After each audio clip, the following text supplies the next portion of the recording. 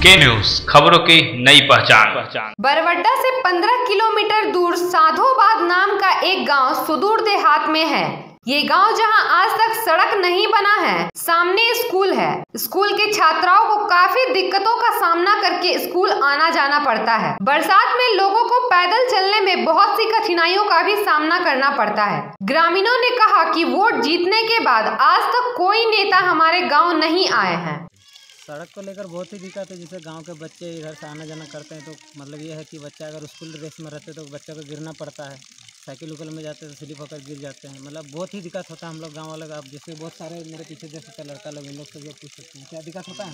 बहुत दिक्कत बहुत दिक्कत होता है यहाँ पर। जैसे आप सुबह शाम जैसे कोई काम करने के लिए यहाँ से अगर धनबाद यही रास्ता से अगर जाना पड़ता तो हम लोग को ये खरने मोड़ वाला रास्ता ही शॉर्ट पड़ता है। जो इसी रास्ता सबका जाता है जिसके कारण से लोगों को बहुत परेशानी झेलना पड़ता है।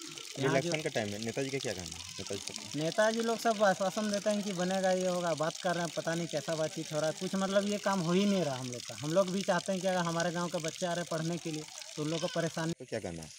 इसमें जैसे ग्रामीण आदमी और अन्य भी आदमी इस रास्ता से गुजरते हुए मतलब थोड़ा दिकदारी होता है स्कूल भी है सामने। और इसी सामने थोड़ा दिक्कत हो रहा है आदमी को परेशानी है। जब इस रोड में पार होता है तो आदमी पैदल पार ही हो ही नहीं सकता है। इसके लिए अब क्या होगा? वो- कोई रास्ता बनने में थोड़ा दिक्कत है। जैसे बोलता है मेरा ये अपना अथी है जमनी मेरा हाँ निजी संपत्ति है। अब यहाँ पर नहीं बनने देना चाहता हूँ। तो सड़क को लेके कोई रेडी नहीं है। इसलिए इस सड़क के लिए कोई एग्री नहीं होता है।